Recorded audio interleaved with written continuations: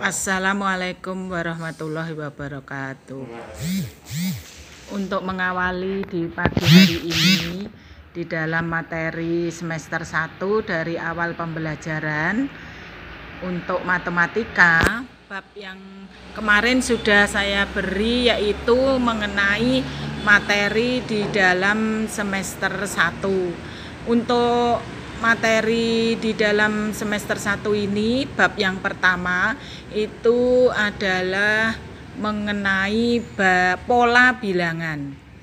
Pola bilangan yaitu yang pertama adalah barisan aritmatika. Kalau kemarin kita pola bilangan sebelum ke barisan aritmatika, kemudian sekarang kita lanjutkan yaitu mengenai barisan aritmatika apa yang dinamakan dengan baris barisan aritmatika adalah barisan bilangan yang memiliki pola yang tetap. Polanya itu berdasarkan operasinya adalah penjumlahan atau pengurangan. Jadi setiap urutan suku memiliki selisih atau beda yang sama. Selisih inilah yang dinamakan dengan beda, biasanya disimbolkan dengan huruf B. Contoh, bilangan yaitu 2, 5, 8, 11, 14.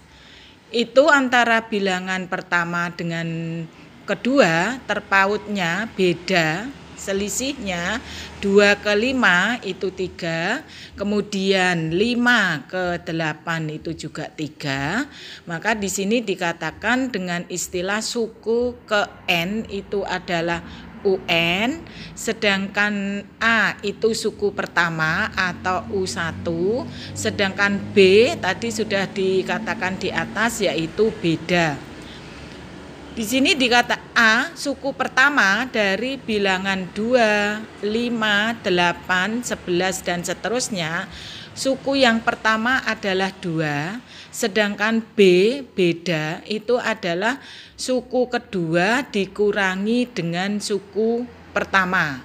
Suku kedua itu adalah 5, suku pertama adalah 2, maka di situ U2 kurangi U1 berarti mempunyai beda yaitu 3. Ya, di situ dilihat ada lagi contoh yang kedua yaitu bilangannya 1, 3, 5, 7, 9. Suku pertama berapa? 1. Kemudian beda tadi adalah U2 dikurangi U1. U2-nya 3, terus kemudian U1-nya adalah 1, berarti bedanya adalah 2. Itu dulu untuk yang barisan aritmatika.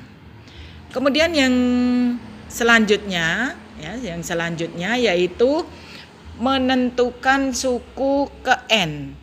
Suku ke N itu adalah UN. Tadi yang pada pertama pada barisan sebelumnya sudah dikatakan bahwa UN itu adalah suku ke N. Untuk menentukan suku ke N itu adalah UN sama dengan A plus kurung N min 1 kalikan dengan B. Dikatakan pertama bahwa UN itu adalah suku ke N A itu adalah suku pertama atau U1, sedangkan B itu adalah beda U2 kurangi U1. Untuk contoh, yang pertama, tentukan suku ke 101 dari barisan aritmatika berikut. Bilangannya adalah barisannya 2, 5, 8, 11, 14. A yaitu 2, sedangkan B-nya B itu adalah U2 kurangi U1, berarti 5 kurangi 2 berarti 3 sedangkan suku ke 101 itu adalah N 101 yang ditanyakan adalah UN, N-nya tadi 101, berarti U 101. U, dimasukkan ke UN. N-nya adalah 101, berarti U 101 sama dengan A, tadi rumusnya dimasukkan, plus N min 1 kalikan B. A, A-nya adalah 2, sedang ditambah 101 kurangi 1 berarti 100 kalikan dengan B bedanya adalah 3 2 100 kali 3 300 berarti 302 jadi U101 adalah 302 coba kita perhatikan lagi contoh yang berikutnya. Diketahui barisan 1, 4, 7, 10. Tentukan nilai U14 ditambah U16. Itu nanti kamu jawabannya kamu pilih. Tentunya sebelum kamu pilih, kamu harus menentukan dulu U14 itu nilainya berapa, kemudian U16 itu nilainya berapa.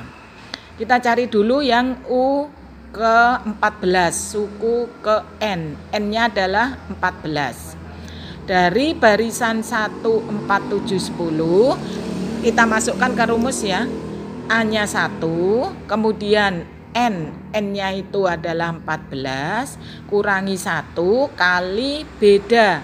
Beda antara 4 kurangi 1 itu adalah 3 jadi 1 14 kurangi 1 itu 13 kalikan 3 13 kali 3 39 1